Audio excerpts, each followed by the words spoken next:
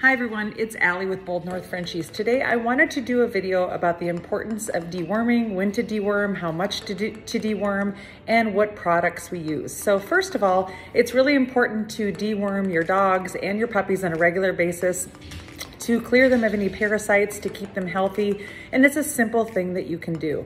When we're talking about pregnant females, uh, we deworm them 10 days prior to their scheduled C-sections. We breed French Bulldogs.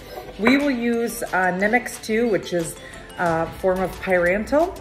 And uh, there, I also will post the dosing chart as well after this video. So again, 10 days prior to their scheduled C-section. Now, it also is very important to deworm puppies.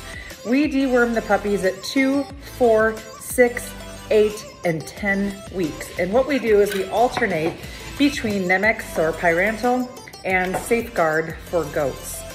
The reason why is a little bit of tolerance can be built if you just are deworming with the same product. So switching every other deworming time, so every two weeks you're switching products, we have found to be the most effective. Um, once those puppies are have gone to their new owners, make sure that you are encouraging them to continue with the deworming schedule.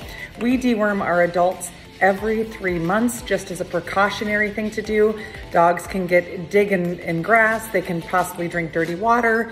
Um, it's just really important for their health to continue with a regular deworming schedule.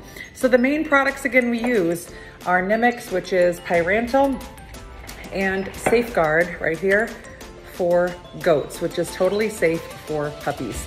Hopefully you guys found that helpful. Again, I will post dosing charts after this video. Have a great day.